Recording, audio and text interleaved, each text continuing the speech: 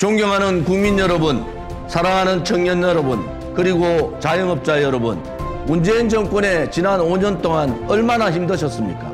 저 조은진은 지금의 대통령 후보 중에서 가장 깨끗하고 가장 용기 있고 가장 정의롭다고 자부합니다.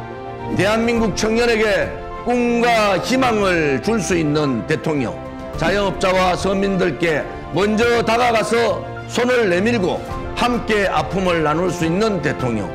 바로 저 조은진이 위대한 정치혁명, 깨끗한 대한민국, 국민의 명령인 정권교체 반드시 이루겠습니다. 추악한 쓰레기 정치판을 확 바꾸겠습니다. 자유 대한민국을 지키고 희망의 대한민국을 반드시 만들겠습니다.